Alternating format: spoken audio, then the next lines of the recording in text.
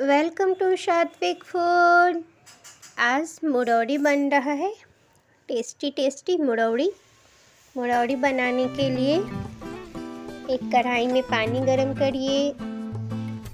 उसमें मुरई घस के दोनों को पानी बॉईल होने के समय मुरई को डाल के बॉईल करिए।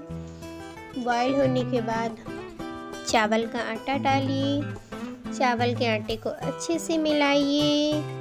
और मिलने के बाद इसमें धनिया पत्ता, हरी मिर्ची, अदरक, जमाइन और स्वाद अनुसार नमक डाल के इसको पाँच मिनट के लिए रेस्ट करने दीजिए डो को और फिर छोटे छोटे लोई लेके, हथेली पे धर के इसको गोल गोल बना के, थोड़े फ्लैट करके और इसको सरसों तेल गरम करके, अच्छे गरम सरसों तेल में इसको छानना है।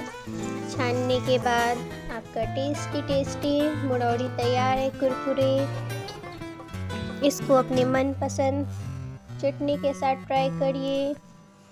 थैंक यू फॉर वाचिंग हमारे चैनल को लाइक करिए सब्सक्राइब करिए, थोड़ा मोटिवेट करिए।